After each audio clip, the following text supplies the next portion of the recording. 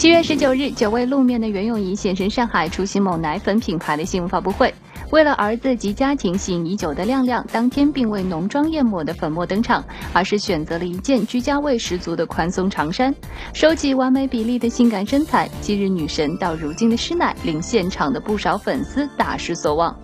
与张智霖结婚十二年并育有一子的袁咏仪，婚后虽然低调做起了全职太太，但两人的生活却一点也不乏味。张智霖更时常带着老婆和儿子外出旅游，一家三口其乐融融。采访当中，袁咏仪更甜蜜地称呼张智霖为大儿子，更自曝儿子喜欢爸爸多一点。对老八嘛，嗯，儿子嘛，跟老八亲一点是很正常的。呃，特别是我的老公呢，也是一个非常的，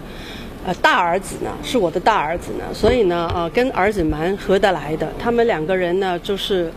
也是一个母亲很愿意见到，就是一家人很开心的、很融、很融合的。日前，由张智霖、吴镇宇、胡杏儿等人主演的电视剧《冲上云霄二》开播不久，便获得了极高的收视及口碑。剧中张智霖帅气的机长扮相更是俘获了不少少女的心。谈及与多位女演员的亲密戏份，亮亮坦言暂时还没有看到。不过儿子当初就曾极力反对张智霖与胡杏儿拍吻戏。我我们现在还没看到，但是上一次那个电视剧的时候，他看到他跟那个胡杏儿亲嘴的时候，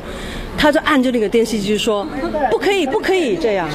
袁咏仪全面复出后，并未忙于四处捞金，而是选择出演一部喜剧《龙门镖局》，就是想为儿子留下更多的欢乐。呃，因为呢，我觉得当了母亲以后呢，我觉得拍戏呢，我想拍多一点喜剧的、开心一点的，因为我觉得我儿子以后有很多机会看到我的作品的，所以呢，我特别就是，呃，真的可以说是呃全面